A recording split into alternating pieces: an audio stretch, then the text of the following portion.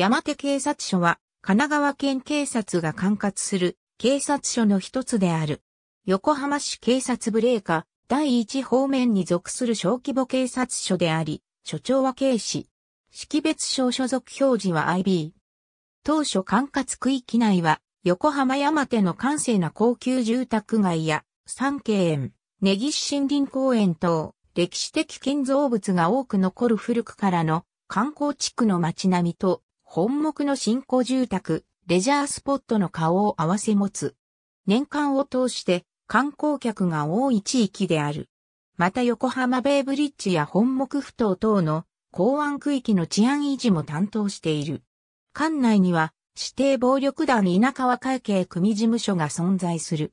土地柄、庁舎は県下各所に比べ洒落たデザインとなった。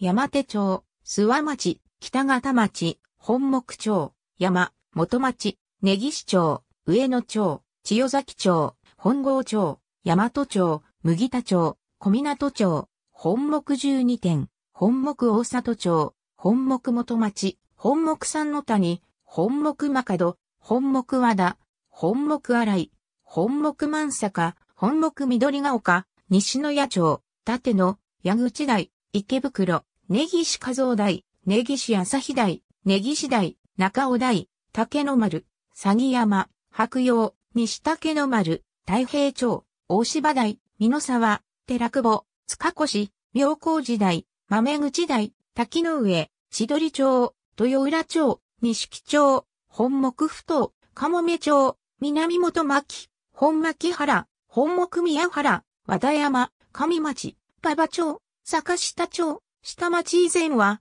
マカド交番が存在した。平成30年、根岸交番へ統合により廃止。ありがとうございます。